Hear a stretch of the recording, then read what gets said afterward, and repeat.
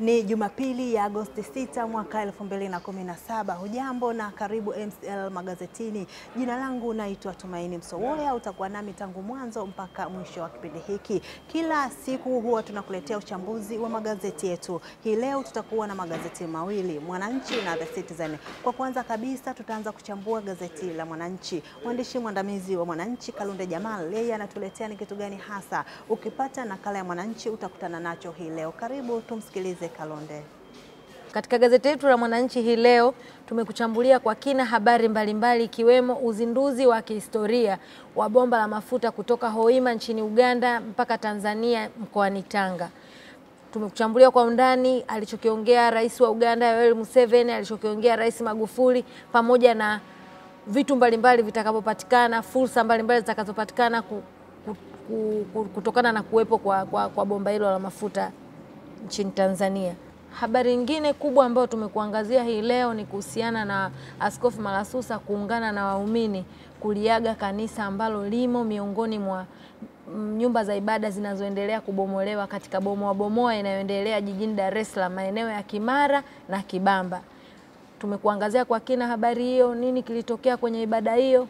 Ukitaka kufahamu tumekuangazia nini, pata nakala yako ya gazeti la Mwananchi. Katika habari za michezo tumekuangazia kuhusiana na usajili. Miezi miwili ya usajili imekamilika hii leo, kwa hiyo tumekuangazia kwa kina nini kilitokea katika usajili, mbwembwe mbalimbali ambazo zilikuwepo, timu zipi zilipimana ubavu kusia, kutumia pesa nyingi kusajili wachezaji. Ukitaka kwa undani kuzijua mbwembwe hizo, miezi miwili ilikuwa na kitu gani, kulitokea tashtiti za aina gani, pata nakala yako ya gazeti la Mwananchi hii leo.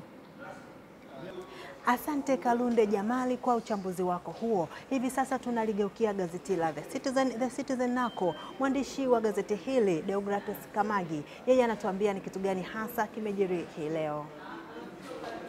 Gazeti la The Citizen siku ya leo Jumapili limesheheni habari kubwa, ni kuhusiana na uzinduzi wa bomba la mafuta kutoka Hoima nchini Uganda mpaka mkoani Tanga hapa Tanzania.